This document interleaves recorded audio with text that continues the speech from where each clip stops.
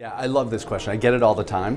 And I think we have to put it in three buckets there's distraction, disruption, and direction.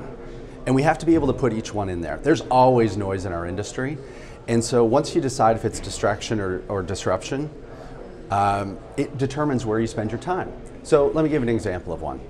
Is I always quote stats of what's happening with consumers and the experience of how they interface with an agent.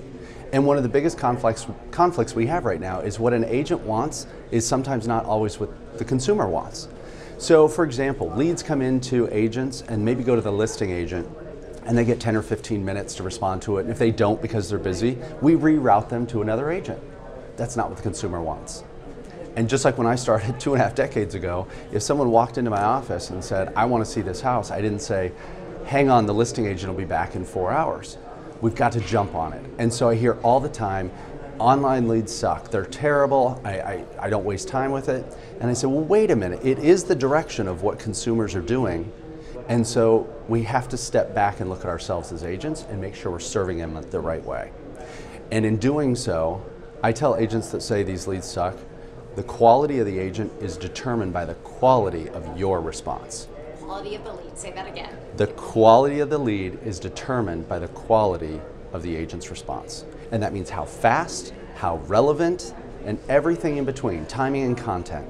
And when people start rethinking about what the consumer wants in this process, they may not want the listing agent. They want someone to get back to them in microseconds. That could be what's important to them. So those are the type of things where we have to look and say, this is the direction of the consumer. Don't set up rules that just are how we want it as agents or brokers. Set them up so it helps consumers. I think one of the major distractions right now, and it's not just a distraction, but we've been talking for the last year or so about iBuyers. That's the thing that everyone, you say, yep, that's the distraction. First of all, I don't believe that every home is just going to be purchased from cash, for cash. Uh, I think it'll be in homogenous markets, homogenous housing markets, and it'll be single digit market share. But why has it become such a distraction or a disruption, however you want to phrase it, is it's helping the consumer experience. The consumers are saying, this makes me selling my home much easier. So what we need to take away from it is how can we pull things out of that space and use it to help create a better experience for someone that's maybe not interested in going through the iBuying process. We have to solve for that. Great. What is an issue in the in the industry right now that they should be paying attention to? Uh, their database. We have heard for a number of years. I said it five years ago on stage. We're on the back nine of data. Like we're on the 18th green about people being worried that I have to keep my data here and I'm not going to send data here, data here. All that data is already out there on every one of us.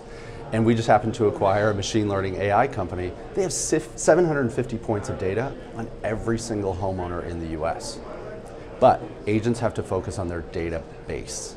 Because with all these leads happening, I believe top producing agents are at risk of having one or two or three deals picked out of their sphere.